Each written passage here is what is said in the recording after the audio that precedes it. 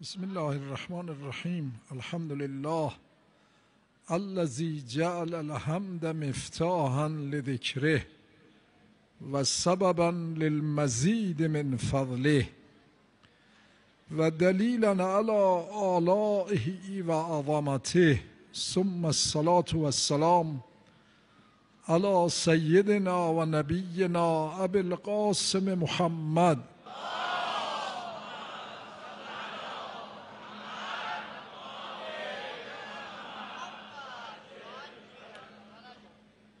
صلى الله عليه وعلى أهل بيته الطيبين الطاهرين المأسومين الهداة المهديين واللعنة الدائمة على أعدائهم أجمعين من الآن إلى قيام يوم الدين. عن الإمام علي بن الحسين السجاد صلوات الله وسلامه علي يا ابن آدم إنك لا تزال بخير ما دام لك واعظ من نفسك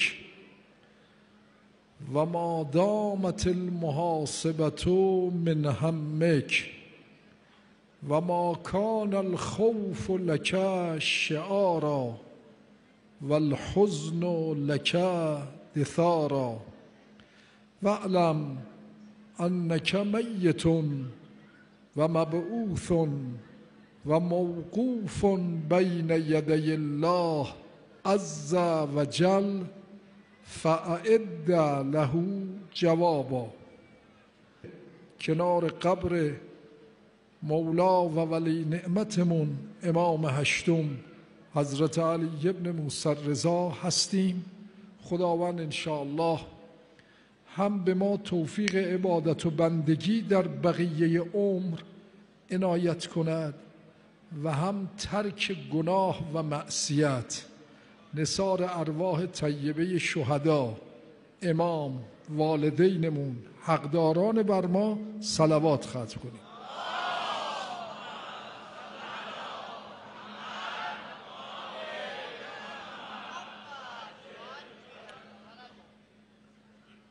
موضوعی رو که در این چند روزه خدمتتون ارائه کردیم عوامل موفقیت در زندگی بود.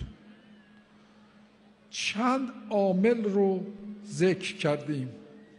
یکی از اونها عرض کردیم فکر کردن و اندیشیدن بحث کردیم و گذشت.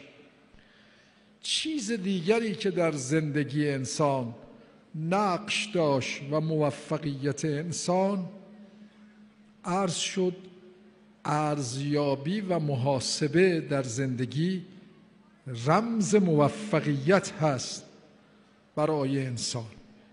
امروز به یک نکته دیگری از عوامل موفقیت اشاره می کنیم و اون ترس ترس یکی از رموز موفقیت در زندگی است. شما خواهید سوال کرد چطور ترس رمز موفقیته؟ ترس آیا چیز خوبی است؟ معمولا می‌گویند آدم های ترسو اینها ضعف دارن تو زندگی. ترس یک نقص است در زندگی. این طور واقعا. ترسو بودن و ترسیدن آیا در زندگی نقص است یا کمال؟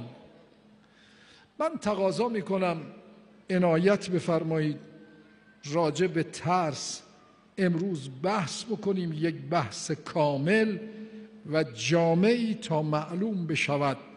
ترس چه جایگاهی در زندگی ما دارد؟ ترس یک حالتی است. در انسان پدید میاد نسبت به آینده. این طبیعی است. ترس یک حالت نفسانی است.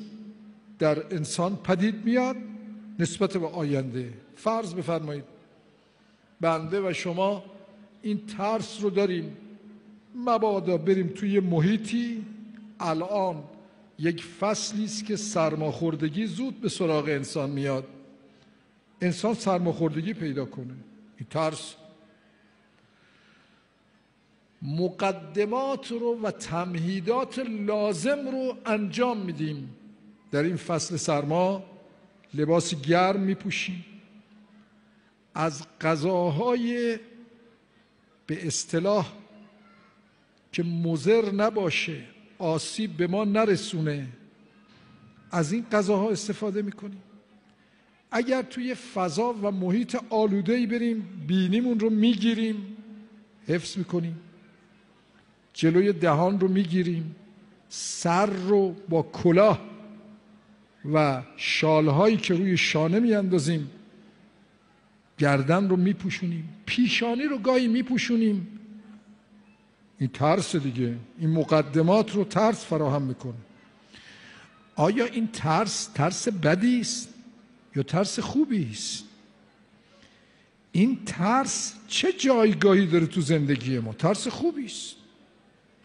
نمی‌تونه بگیم این ترس ترس بدی است.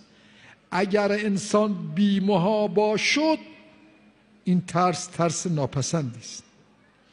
شما در یه منطقه ای که بلنده در اون منطقه قرار می‌گیرید برای اینکه انسان سقوط نکنه نزدیک نمیشه.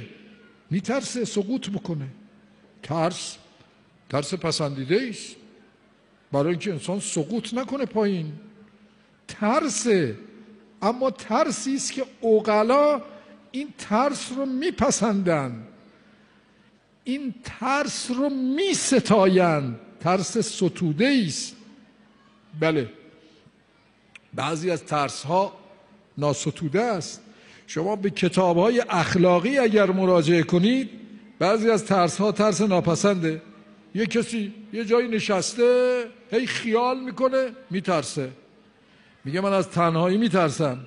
خب تنهایی که ترس نداره. یه چیزهایی برابر چشمش ظاهر میشه خیاله پنداره میترسه. میگه من از ترس تنهایی میترسم. و تنهایی که ترس نداره. این اتاقی است که انسان توی زندگی می‌کنه. اتاقی است که توی زندگی می‌کنه. درم بسته ترس نداره که. معمولا این نوع ترس رو بچه ها دارن. بچه ها در سنین کودکی از تنهایی می حراسن. بچه تا مادرش رو پدرش رو کنارش نمی‌بینه شروع می‌کنه گریستن. گریه می‌کنه. چون توهم می‌کند خیال می‌کند پندار اوست که او رو میترسانه. ولی واقعا ترس نداره. انسان نبایستی بترسه. بله ما در اسلام این رو عرض کنم خدمتتون. در اسلام داریم. انسان در یک محوطه بسته تنها نمانه تنها نخوابه. اینو داریم در اسلام. اون جهت داره حکمتی داره. اسلام با اون برنامه های وسیع و گسترده ای که برای سعادت ما دارد خوابیدن تنها مکروهه در یک جایی که بسته است. چون آدمی است ممکن است نصف شب دچار یه مشکلی بشه. یه بیماری سراغش میاد. اگر تنها باشه توی محیط بسته کی به داد او می‌رسه؟ یه کسی کنارش باشه و به دادش می‌رسه. اما اگه کسی نباشه ممکنه در اثر او بیماری از حال برود از هوش برود. کسی نباشه به او کمک بکند و اعانت بکنه. این حکمت این است که تنها انسان استراحت نکن. خصوصا توی محیطی که میره فرض بفرمایید افرادی اتفاق افتاده اینا رفتن داخل حمام برای شستشو در رو از داخل بستن اونجا یه مرتبه گرفتار یه آرزه شدن. نمی‌شده درم باز بکنیم اصلا باید رعایت این امور رو بکنه بترسه یه جایی در رو نبنده که دسترسی به او آسون باشه. این ترس ترس درستی است. یه جاهایی ترس ترس اقلایی است. بله ترس بی جهت. این ترس مزمومه ناپسنده. من همینطور مثلا فرض کن نشستم میترسم. وجهی نداره ترسیدن. نقل می‌کنن حضرت امام رضوان الله تعالی علیه فرموده بودن من در دنیا از هیچ چیزی نترسیدم جز از خدا. از خدا. این ترس ترس مطلوبی است. ترس از خدا ترس مطلوبی است.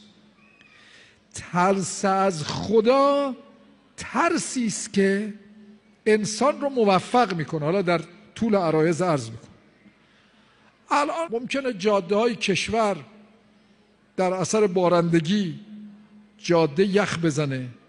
یه راننده بگوید که من به اصطلاح بیباکم. پاشو بگذار رو پدال گاز رو زمین یخ زده زنجیر چرخ هم نداشته باشه. بگه من نمیترسم. این نمیترسم مزمومه ترس خوبه. احتیاط بکنه با احتیاط حرکت بکنه. یه جایی ترس رمز موفقیت و عامل موفقیت انسانه. اگر یه ویروسی آمد توی محیطی پزشک ها اطلاع میدن میگن واکسن بزنید. آقا من نمیترسم. غلطه نمیترسم. انسان بایستی بره واکسن بزنه. اون ویروس بدن او رو بیمار نکنه. یه جای ترس مطلوبه و رمز موفقیت انسان. این به صورت کلی در حوزه دین هم همینطوره. یه کسی بگوید که من نمیترسم. دست به هر کاری می‌زنم هر گناهی رو می‌کنم. این نمیترسم مزمومه انسان بایستی نسبت به آیندش حراس داشته باشه و خائف باشه. من یک حدیثی رو بخوانم. از امام صادق سلام الله علیه در رابطه با ترس در جاهای ترس کمال است. رمز موفقیت و رمز خوشبختی است برای انسان. امام صادق سلام الله علیه میفرماید المؤمن بین مخافتین بین ذنب قد مزا و ما یدری ما صنع الله فیه. و عمر قد بقی و ما یدری ما یکتسب فیه من المهالک فلا یصبح الا خائفا ولا یصلحه الا الخوف. چه روایت زیبایی. میفرماید مؤمن واقعی کسی است که هر شبی رو صبح می‌کند امام صادق میفرماید دو تا ترس داشته باشه. مؤمن واقعی کسی است. هر شبی رو صبح می‌کنه دو تا ترس داشته باشه. گفتن آقا اون دو تا ترس چیه؟ فرمود یه ترس نسبت به گذشته. گذشته چه ترسی داره؟ گذشته تمام شده. اون ترس نسبت به گذشته حضرت میفرماد برای این هست. من در گذشته لغزش هایی داشتم. ممکنه گناهانی کرده باشم خطاهایی رو انجام داده باشم ترس دارم نمی‌دونم خدا بخشیده یا نبخشیده. می‌تونم بی تفاوت باشم نسبت به گذشته؟ می‌تونم بی تفاوت باشم. نمی‌تونه انسان بی تفاوت باشه. یکی از اصحاب بزرگ رسول خدا بعد از مرا هجرت پیامبر به مدینه ابن مزعونه ابن مزعون از اصحاب خوب پیامبره بعد از هجرت به مدینه ایشون از دنیا رفت. خیلی پیغمبر به ایشون علاقه داشت. خیلی علاقه داشت. مرد بزرگواری بود. آمدن به پیامبر خبر دادن ایشون از دنیا رفته. در روایت دارد که پیامبر وقتی به شدت محزون می‌شد دست مبارکش رو به محاسنش می‌گرفت. اینطوری دست می‌گیره به محاسن. از شدت غم و اندوه. آمدن بالا سر این میت ابن مزعون. صورتش کنار زدن. بوسیدن صورتشو. صورتشو بوسیدن. یکی از همسران او اونجا حضور داشت. آمد جلو وقتی این منظره رو تماشا کرد به همسر همسرش که از دنیا رفته بود خطاب کرد. گفت خوشا به حال تو بهشت گوارای تو باشه. کسی که پیغمبر بعد از وفات چهرشو بوسیده همسرش آمد گفت بهشت گوارای تو باشه. تا این جمله رو گفت رسول خدا فرمود چی گفتی؟ چی گفتی؟ چرا داوری می‌کنی؟ تو میدانی که او رفت تو بهشت میدانی انسان بایستی نسبت به گذشتش خائف باشه این فرازهای دعای کمل رو که از امیرالمومنین سلام الله علیه نقل شده ببینید این فرازات چقدر زیباست.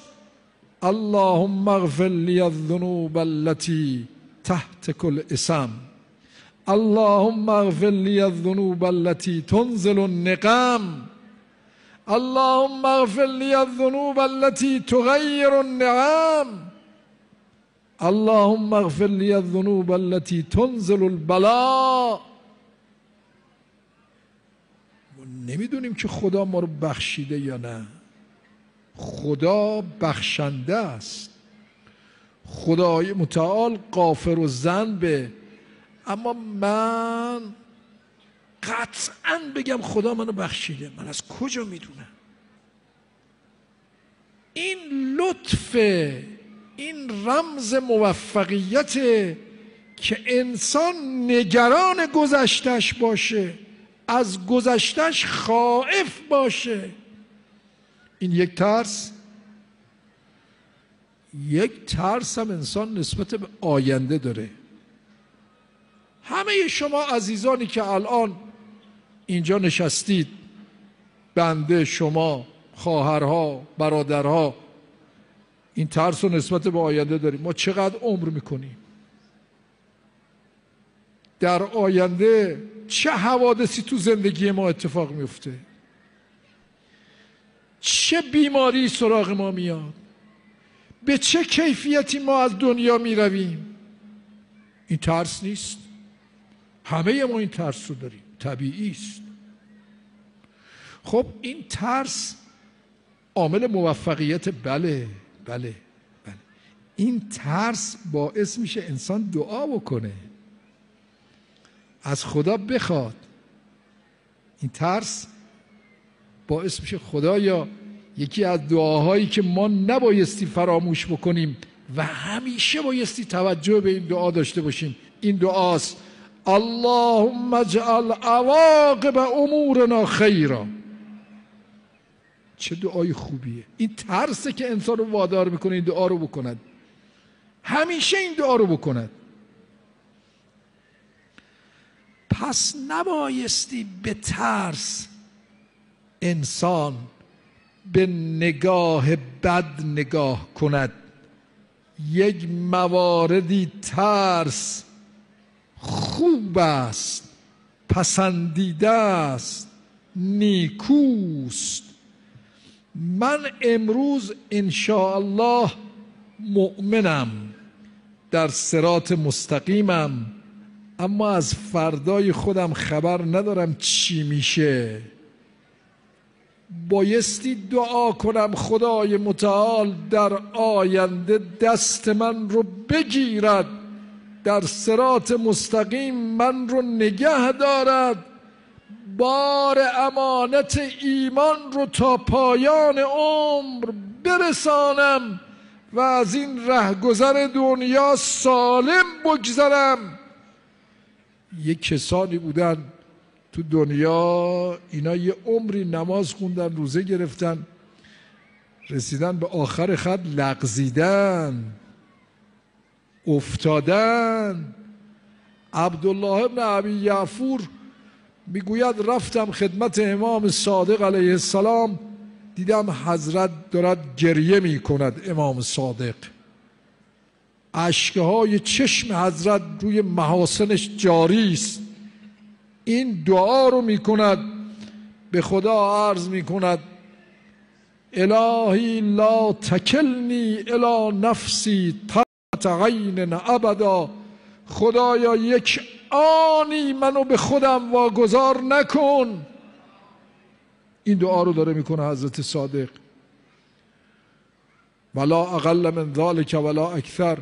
گفتم آقا این گریه و شما فرزند پیغمبر و اینطور دعا فرمود یبن ابی یعفور. پسر ابی یعفور یونس ابن متا یونس پیغمبر یک لحظه امتش رو رها کرد و ظنون اذ ذهب مغاضبا فظن ان لن نقدر علیه یک لحظه امتش رو رها کرد رفت تو شکم ماهی رفت تو شکم نهنگ.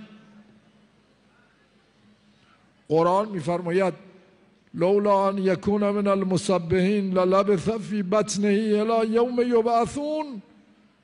اگر تو شکم نهنگ نگفته بود سبحانک انی کنت من الظالمین خدای متعال فرماد ما همونجا نگهش می داشتیم همونجا نگهش می داشتیم انسان از یک لحظه بعد خودش خبر نداره. خدای متعال لطف کرده من و شما رو توفیق داده. مسلمان هستیم در یک خانواده مسلمان و شیعه متولد شدیم. این عنایت رو کرده بتوانیم رقبت داشته باشیم علاقه داشته باشیم به زیارت بیاییم و در نماز شرکت کنیم. به این نماز علاقه داشته باشیم. اینا لطف خداست. نبایستی از خدا بخوایم. خدای متعال آیندم همینطور زندگی ما رو حفظ بکنه. تا سالم برسیم به لحظه ای که بایستی از اینجا بگذریم. قرآن مجید میفرماید انتزل قدم بعد ثبوتها. برخی برخی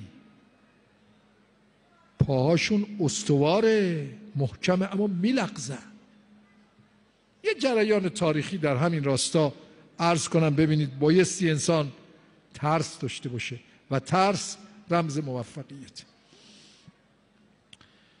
یکی از اصحاب رسول خدا یه روز آمد در حجره ام سلمه همسر پیامبر گفت من یه وقت ملاقاتی به من بدید من بیام ملاقات کنم. همسران رسول خدا با مردها وقتی می‌خواستن ملاقات کنن یه پرده آویخته می‌شد می نشستن پشت پرده اون شخصم می آمد میشست پشت پرده رو در رو نمی شدن از پشت پرده حرف می زدن عبدالرحمن ابن اوف از اصحاب پیامبره آمد در حجره ام سلمه. به ام سلمه گفت من وقت ملاقات می‌خوام یک سوالی دارم. می‌خوام ازت سوال بکنم. وقت ملاقات گرفت آمد وارد شد. ام سلمه پشت پرده نشسته. عبدالرحمن ابن اوف پیرمرد هم آمد وارد شد نشست. به ام سلمه عرض کرد که شما همسر رسول خدا هستی. این افتخار نصیب تو شده یک برهی از زمان در محضر مقدس پیغمبر اکرم بودی. من یه سوالی از شما دارم. من عمرم به آخر رسیده آفتاب لب بامم پیر شدم. به عجلم نزدیک شدم. مرگ همین روزها به سراغ من خواهد آمد. من آمدم از تو همسر پیامبر یک راهنمایی بگیرم. من ثروت زیادی اندوختم و اموال زیادی رو انباشته کردم. بگو ببینم پیامبر تو رو چه رهنمودی داده؟ چطور راهنمایی کرده؟ من چه کنم در این آخر عمر؟ که وقتی از این رهگذر دنیا میگذرم اول آسایش من و راحتی من باشه. گفت این پیشنهاد رو من بهت می‌کنم. این پولهایی که جمع آوری کردی تا زنده هستی با دست خودت از این پولها انفاق کن. نگذار ورسه معلوم نیست برای تو چیکار بکنه. ورسه معلوم نیست به فکر تو باشه این شعر رو نمی‌دونم شنیدید یعنی یا نه. میگن مرگ غنی مرگ غنی مقدمه جنگ وارث است. های ثروتمند وقتی میمیرن اول دعوای ورثه است. مرگ غنی مقدمه جنگ وارث است. رحمت بر آن کسی که بمرد و کفن نداشت. اونا که به فکر انسان نیستن انسان خودش بایستی به فکر خودش باشه. خودش بایستی یک اندوخته ای داشته باشه. با دست خودش گفت از این اموالی که جمع آوری کردی ثروتی که اندوختی یه مقدار انفاق کن در راه خدا انفاق کن. گفت خب شنیدم. یه حدیث یه چیزی از پیغمبر برای من بگو. فهمیدم صدقه چیز خوبی است. خدای متعال کسانی که تصدق می‌کنن انفاق می‌کنن از مالشون بهره برداری می‌کنن قرآن میفرماید یکی می‌شود صد تا صد تا میشه هفت برابر. خدام اضافه می‌کنه. مثل الذین ينفقون اموالهم فی سبیل الله كمثل حبت انبتت سبع سنابل فی کل سنبلت مئت حبه والله یضاعف لمن یشاء. یک دانه میشه صد صد به ضرب در هفت میشه هفتصد و الله یضاعف لمن یشاء. انفاق انفاق کن خداوند متعال. اون چه که انفاق کردی چند برابر می‌کنه و برات حفظ می‌کنه. قیامت هم تحویلت میده. ما اندکم ینفد و ما عند الله باق. اونچه که پیش شماست از بین رفته. هرچی به حساب خدا گذاشتید میمانه. او ماندگاره. گفت شنیدم این رو. یک چیزی از پیغمبر برام بگو.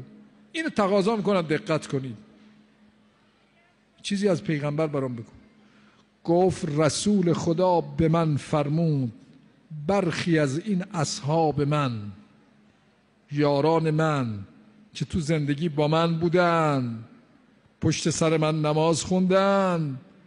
بعد از آنی که من از دنیا رفتم اینها دیگه مرا نخواهند دید. قیامتم منو نمی‌بینن. مستقیم اینا رو می‌برن تو آتش. گفت عجب. من جز اونا هستم. گفت نمی‌تونم. پیامبر به من نگفته. یعنی چی؟ یعنی انسان جدا بشه از سرات مستقیم جدا بشه از پیغمبر خدایی ناکرده جدا بشه از دین جدا بشه از اسلام. جوانهای عزیز مبادا این فضاهای مجازی این ماهواره ها این اینترنت این گوشی های همراه شما را از خدا و معنویت و مقدسات و دین جدا کنه. اینها سم بعضیاش. نمیگم همش. بعضیاش سمه. اینها دوستان ما نیستند دشمنان ما هستند می‌خوان عقاعد جوانهای ما رو برو باین بدزدن مقدسات دینی رو سعی کنید عقاعدتون رو حفظ کنید. اون چیزی که انسان رو بیمه می‌کنه عقیده است. این ترس رو ما بایستی داشته باشیم. این ترس رمز موفقیت دشمنان ما. این خواب رو دیدن خصوصا برای نسل جوان ما به وسیله صحنه های زشت. جوانهای ما رو برو بایند. و عقاعد پاک اونها رو بگیرن. باید انسان حواسش جمع باشه. خدایا تو رو می‌خوانیم به حق مقربان درگاهت. نسل جوان ما رو از توطعه های دشمنان و حجمه های بیگانگان حفظ کن.